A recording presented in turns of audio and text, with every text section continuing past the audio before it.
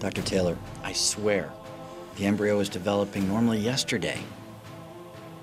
I could even see the tiny face and hands. But now it looks like. Like it exploded. Have you ever seen anything like this before? In Tucson. But it shouldn't be happening here. It's impossible. If it is, something out of control is happening to us. We will help you do what you need to do. Why? I'm worthless.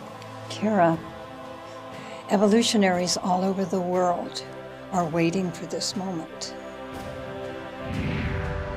Evolution itself is changing. Find out the truth behind this startling revelation in the book Extinction.